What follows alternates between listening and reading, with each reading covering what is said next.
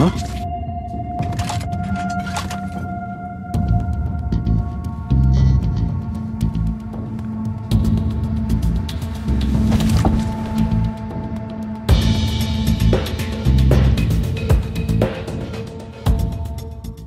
everybody, I'm the Linux Gamer and I just played Hitman Go Definitive Edition. It's a strategy puzzle game developed by Square Enix Montreal. Hitman Go was released February 23, 2016, receiving a day 1 Linux launch. This review was made possible by my gracious Patreon contributors. Thanks guys.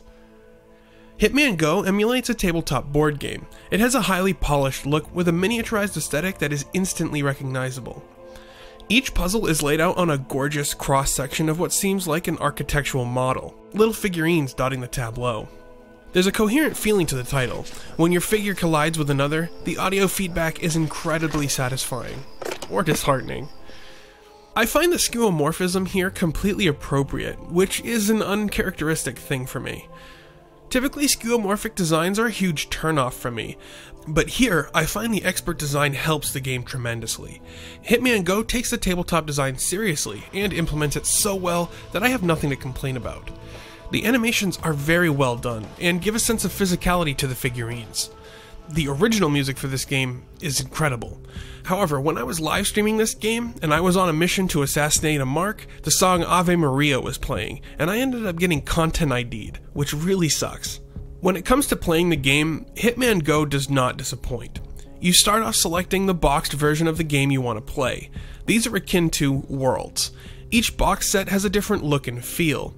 In the first, you're mostly outdoors, tasked with assassinating some rich playboy. In later box sets, your job is to kill cult leaders and the like. Upon selecting the world, you're greeted with a stunning miniature model. You pick your puzzle here and you move on to the cross section diagrams we talked about earlier. You move your figure along the black lines. You can only move between these nodes, and each time you do, the enemy gets a turn. Some enemies will just stand in one spot, some will move in straight lines, and others will rotate 180 degrees each turn. You can only approach enemies from the side or from behind. If you move within their line of sight, which is the node directly in front of them, they will kill you. Your job is either to make it to the goal or kill your mark. You also have secondary objectives that change with each puzzle. Sometimes you have to beat the level in 12 moves or less. Sometimes you can't kill anyone. And sometimes you have to retrieve the briefcase. You can move the Hitman figure onto nodes with rocks or tin cans. These items can be thrown onto empty adjacent nodes and will attract the attention of nearby enemies. This is great for creating diversions. There are many other items and puzzle elements like potted plants, color coded keys, and disguises. Each of them ratchet up the complexity of the game. Hitman Go has no performance issues and plays well on my GTX 970 powered desktop. It's based on the Unity engine, but in spite of this, it runs at quite a high frame rate. Hitman Go is a complex and challenging puzzle strategy game. It has the depth and difficulty to keep me engaged for hours. I'm a huge fan of the game's aesthetic and its turn based gameplay. Though this is most definitely a mobile port, the graphics, the strategy, and the controller compatibility elevate this inexpensive title above other so called casual games that often feel like cynical cash grabs. If you enjoy strategy games, you've got to play Hitman Go Definitive Edition. It's available for Linux through the Humble Store and Steam. Links are in the description. Have you played Hitman Go? What do you think about it? Leave me a comment and let me know, or tweet at me at the Linux Gamer. You can also become a contributor over on Patreon. Feel free to check out the rest of my channel, including my previous Firewatch review.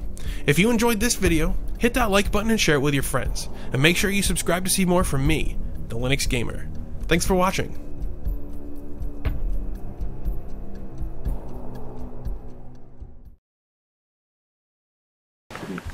Is my shoulder obscuring that door? No. Okay, so you can see like the white trim?